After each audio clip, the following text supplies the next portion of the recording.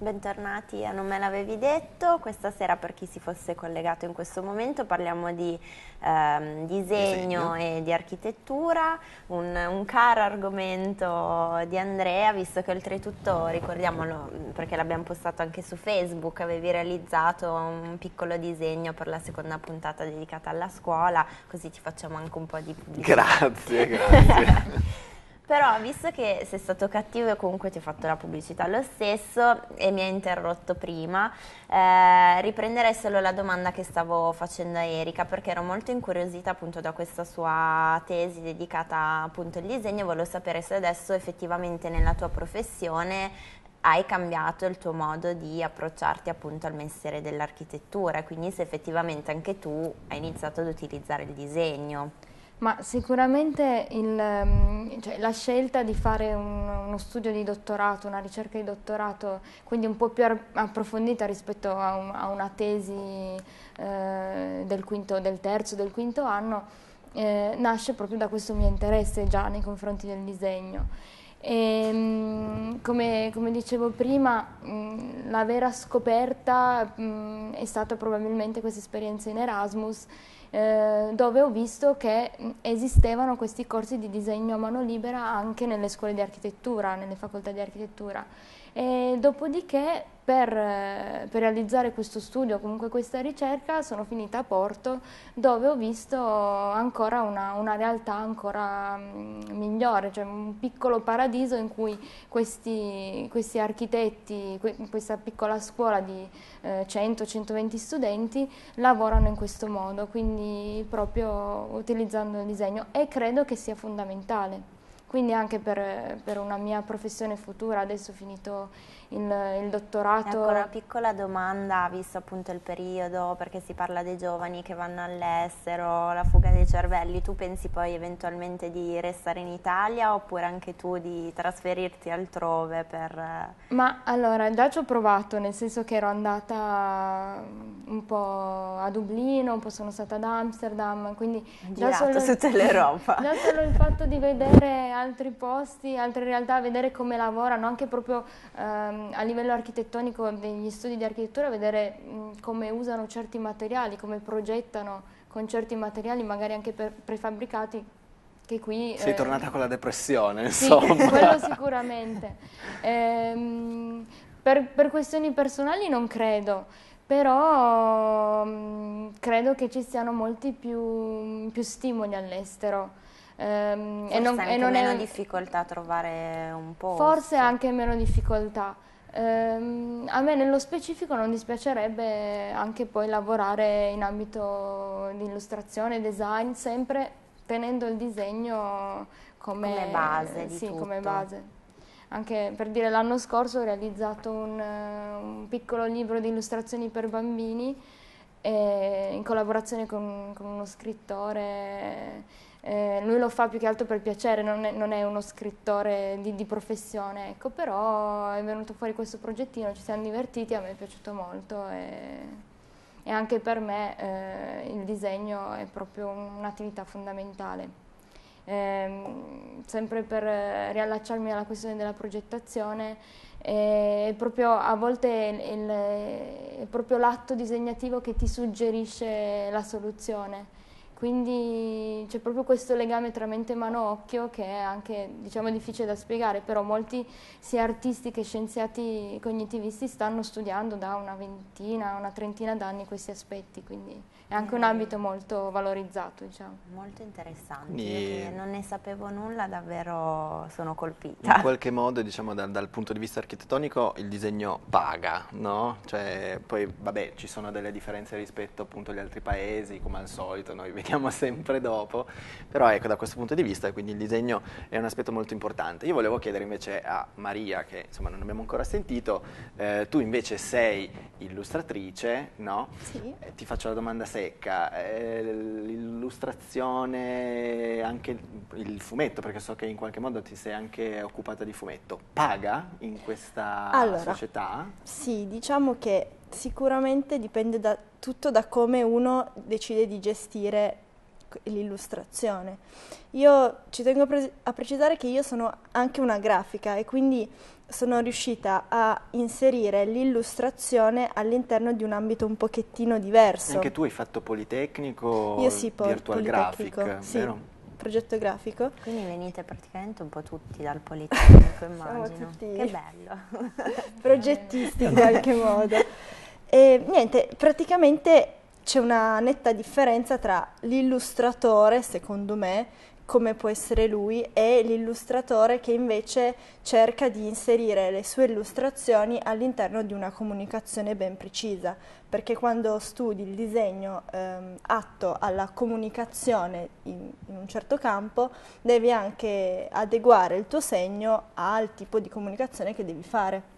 Certo. Quindi per certi versi quando si fa un disegno per la comunicazione, quindi per la grafica, per, per quello che può essere un volantino, una brochure o comunque un cartellone, ehm, il disegno non è più quella cosa creativa che scaturisce dalla tua testa e che puoi schizzare su moleschine sul- mentre sei sul bus, ma diventa una cosa molto più progettuale e molto più simile a quello che è il suo lavoro, per dire, perché devi studiare il segno adatto, il colore adatto a un certo tipo di comunicazione e in qualche modo la tua creatività è limitata a quello Quindi che stai dicendo in qualche modo che devi rispettare una serie di canoni, regole, che Esatto. forse nell'illustrazione tutto ciò invece è molto Esatto, più libero. può scaturire, esa- può scaturire esattamente come tu lo vuoi, invece quando studi per la comunicazione diventa un altro tipo di lavoro. E in, in questo senso paga, nel senso, per riallacciarmi alla domanda, cioè, eh, l'ho presa da lontano ma volevo risponderti alla domanda, secondo me in questo senso paga, cioè fare comunicazione, fare il grafico e avere un buon segno, saper tenere in mano una matita, comunque riuscire a disegnare quello che tu vuoi esprimere, secondo me eh, io trovo Ecco, che... ma che cosa significa avere una buona mano? Eh, Perché in giro si sono- vede un po' di tutto. Sono andata a mettermi nei guai. La No, domanda sì. da 10 milioni di dollari. Nel senso, nel mio campo avere una buona mano vuol dire riuscire a esprimere esattamente quello che hai in testa, secondo me. Quindi riuscire con pochi tratti o comunque in modo preciso a dare l'idea di quello che, che vuoi trasmettere. Cioè, non creare chissà quale, chissà quale disegno complicato che mh, magari può avere un... può essere artisticamente molto bello, ma che poi magari comunica al primo impatto poco, ma riuscire con pochi tratti e in modo molto preciso a esprimere un'idea. Nel mio campo avere una buona mano si traduce in questo, poi eh, chiaramente ci sono eh, milioni di tipi di illustratori, ogni illustratore è un mondo a parte, quindi ognuno secondo me cerca di fare guadagnarsi il pane, diciamo la Certo. propria terra a terra, nel, nel modo che conosce. Certo. Lui, prima sentivo parlare lui e siamo entrambi illustratori, ma secondo me facciamo proprio parte di Due ambiti. Due ambiti diversi. diversi. Esatto, Diversi. ed è bello che sia così, nel senso eh, ognuno secondo me deve trovare la sua strada per riuscire a fare in modo che la sua passione, il, il suo disegno sia anche qualcosa che possa dargli da mangiare, insomma. Ecco, io so che eh, in qualche modo tu sei una grande appassionata appunto di fumetti, no? Eh, Secondo me, però, insomma, confermami oppure dammi la tua opinione.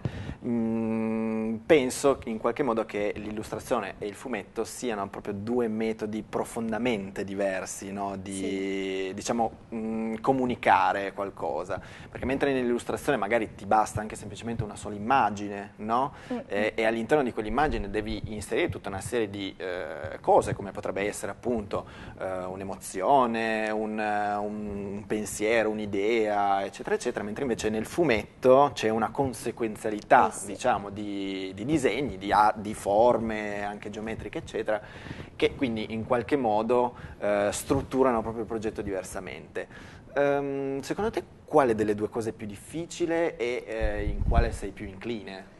Allora, parto dalla prima domanda che è, è difficile già rispondere alla domanda, quindi vediamo cosa riesco È l'effetto primo della classe Allora. di questa sera. Allora, secondo me ehm, fumetto e illustrazione sono molto diversi per un fattore fondamentale che è quello del tempo.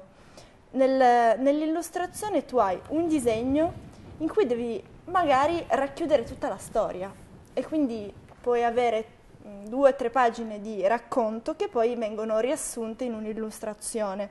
Tante volte così. Ma ci si riesce, tra l'altro? I bravi riescono. e mh, non mi sono messa in mezzo, nel senso i bravi illustratori Lasciamoli lì, i fanno, bravi, cioè. vediamo.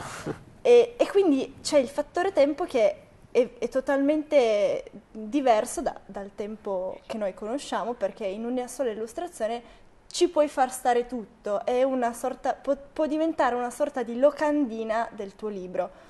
Nel mm, fumetto invece è, è è- è l'esatto opposto, perché tu hai le tue vignette e quindi devi far stare eh, in queste vignette eh, devi far scorrere il tempo in un certo senso. Quindi io trovo che la difficoltà principale dell'illustrazione sia di riuscire a far stare tutto il tempo della storia dentro un'illustrazione o comunque trovare il momento topico della storia, se tu non vuoi farla stare tutta, trovare quel momento topico perché quell'illustrazione parli esattamente del racconto che la precedeva o che magari non la precedeva, ma insomma bisogna trovare il momento topico del Però forse del la racconto. difficoltà invece del, del fumetto Esatto. è l'esatto opposto, cioè Esatto cercare di trovare i tagli giusti per Esatto, evitare come di... al cinema, perché praticamente nel, nel fumetto tu hai tutta la storia da raccontare con le immagini e con le parole e devi dare le inquadrature giuste, devi dare i tagli giusti come... Ecco, come si dice. scelgono queste cose? Per esempio le inquadrature, piuttosto che magari i vari tagli? Cioè, supponiamo che uno abbia anche solo una storia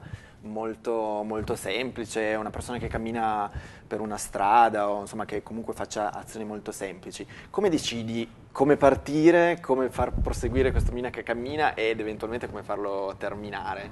Ok.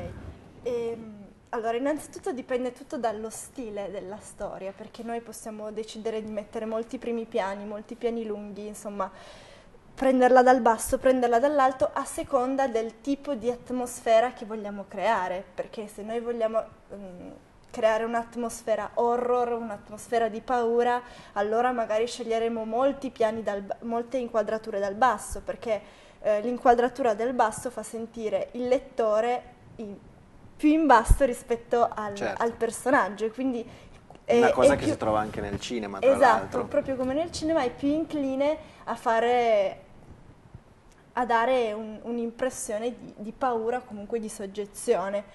Se noi vogliamo dare l'impressione di rilassatezza, magari sceglieremo dei piani molto lunghi, faremo vedere dei paesaggi e quindi a seconda del tipo, secondo me, di atmosfera che noi dobbiamo dare a questa storia, andiamo a creare i tagli giusti, le inquadrature giuste e andiamo a costruire il nostro, il nostro scorrere del tempo, diciamo così.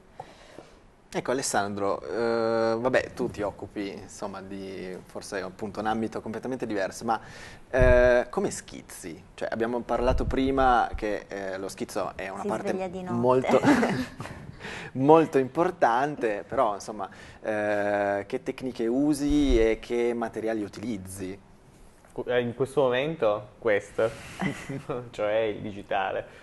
Ho dimenticato la carta, basta. Quindi un ambito Basta, è completamente stata una diverso. scelta un po' radicale. Ma perché non ti piace la carta? No, perché bisogna trasferire il disegno quando hai molti collaboratori o colleghi o così, o anche nel senso che tra l'altro queste nuove tecnologie ti permettono di fare molte cose, quindi trasferire il disegno, ti permettono di mm, inserire dei contenuti di diverso tipo, quindi dallo schizzo all'immagine scaricata da internet, ti permettono di uploadarlo magari su un, eh, su un blog, perché comunque deve essere distribuita la tua comunicazione, quindi magari tu hai il tuo taccuino, te lo metti in tasca, nessuno me lo vedrà. Adesso, come dire, nel grande mondo connesso sarebbe inter- eh, cioè, sempre più interessante forse nell'obiettivo sempre di farsi conoscere, ognuno poi, boh, non so, nel magari la tua ricerca di dottorato, sì, fare la pubblicazione, però magari molto di quello che hai fatto rimarrà come ho fatto io pile e pile di libri, di schizzi, di testi mezzi scritti, riscritti, riscritti, file, però poi, eh, come dicevo prima, è l'output quello che... Certo. Quindi sempre dipende, quindi a me in questo momento questo mezzo di comunicazione per me è importante, per i miei colleghi, per comunicare con eh, l'esterno.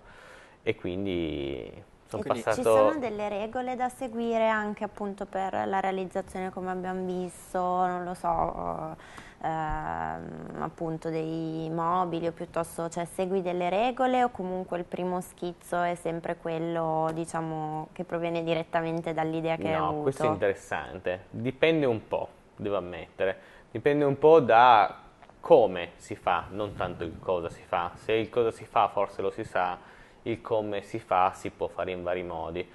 Tra l'altro, tra le varie cose, la mia tesi di dottorato era proprio sui processi partecipativi, dove più persone in modo collaborativo possono disegnare o progettare o comunque esprimere un desiderio. Ecco, secondo te è facile progettare i- insomma, in più teste? Senso, Esiste sempre il salto, il vogliamo, salto creativo. vogliamo per esempio ricreare la cuccia del cane, no? Quindi è un'idea eh, che va sviluppata per esempio su 3-4 teste. Ci si, ci si arrabbia e ci si fa le scarpe vicenda oppure Ma si riesce... secondo me dipende molto dai singoli, ci sono persone molto empatiche, molto, come dire... Quindi bisogna trovare anche dei collaboratori che siano abbastanza... Sì, sì. Comunque comuni. se si ha, si ha un obiettivo comune, secondo me poi si supera qualsiasi cosa. Non- sì, poi esistono magari le prime donne, tra virgolette, chiamiamole così, Eh, però non, eh, almeno io come i miei colleghi eh, arriviamo da percorsi in cui la partecipazione, il coinvolgimento, la collaborazione, il processo creativo condiviso è, è un fattore importantissimo.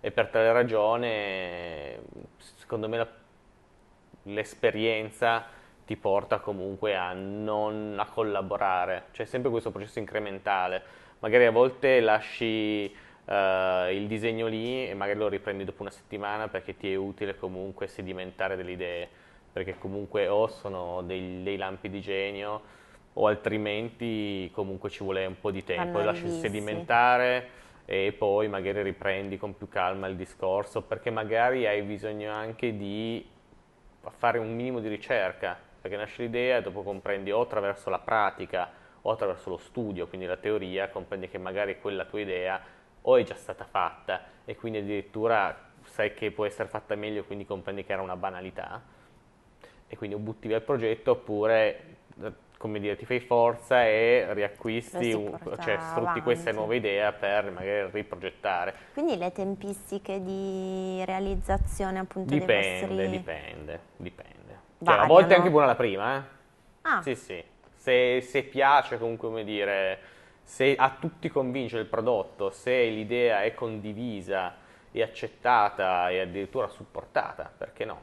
Eh, e allora si va avanti, perché no, certo. Oppure magari piuttosto si prende lo stesso oggetto e lo si elabora quasi in modo diverso, nel senso l'idea può essere la stessa, ma prende due strade completamente diverse. Dipende. Eh, dipende, dipende anche dalla volontà e dagli obiettivi. Mm. Ma i progetti che fai sono la maggior parte commissionati o sei tu che ti sponsorizzi in qualche modo? Beh, in questo, questo esempio qui siamo noi che comunque come progettisti, appunto, tutti in autocostruzione, quasi siamo, facci- co- costruiamo tutto il- l'impianto dalla- dall'idea alla, alla vendita, Mm. perché tra l'altro abbiamo canali di, dei canali di vendita. Dipende un po' esatto da, da- da quello che si va a fare nuovamente, nel senso che ad esempio il progetto urbano si può disegnare tutti quanti insieme, la mappa del proprio quartiere, si chiamano mappe mentali, mappe partecipate, Paris Map, ci sono molte tecniche di disegno collettivo dove magari si intervista, si schizza insieme e eh, si estrapolano delle informazioni utili poi al progetto, che poi possono essere ascoltate, reinterpretate, riaggiustate o anche trascurate completamente. Eh, è- Quindi in questo caso arrivano da noi e continuano ad essere nostre. Chiaramente se c'è poi un cliente, questo è- è- ci sono quelli che appunto chiavi in mano, va bene così qualsiasi cosa, oppure noi preferiamo proprio il nostro approccio, eh, quello di confrontarci con il, il committente, ti dà stimoli, ti dà idee, eh, viene coinvolto, chiaramente possono nascere meno, sempre meno problemi perché chiaramente è stato coinvolto, quindi questo progetto più dovrebbe essere sostenuto e accettato comunque da lui Certo. già prima di tro- trovarlo su carta. Quindi coinvolgerlo comunque già dall'inizio ti permette di evitare magari Tanti forse problemi poi nella sì, produzione, pro- nella qualche- sì, diciamo pro- ma neanche forse problemi, perché chiaramente poi c'è la parte del tecnicismo, quindi magari il progetto funziona effettivamente, però magari, come dire, non hai ascoltato il suo desiderio e quindi magari l'opera è perfetta, però magari la usa mal- malvolentieri, cioè nel senso, non so, l'oggetto ci- non era esattamente conforme al suo desiderio, o, Certo. vabbè, o la città ha magari disegnato, non so, un giardino per cui poi i bambini non, vanno, non lo usano. Magari è bellissimo, è perfetto, funziona, c'è l'impianto di irrigazione, di illuminazione perfetti, ma poi questo non viene usato in quanto, non so, per qualsiasi motivo. E adesso state preparando... Devo interrompere Eh, di è nuovo perché meglio. è il momento della apposta. pubblicità, quindi fai la domanda dopo, a tra Va poco. bene.